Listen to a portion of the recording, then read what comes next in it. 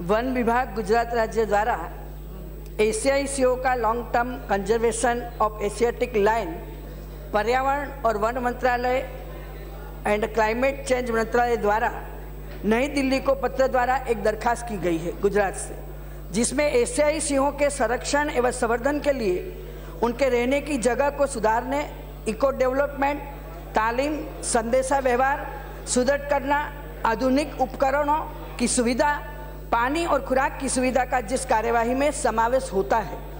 माननीय अध्यक्ष जी, इस प्रोजेक्ट की समय मर्यादा तीन साल की है।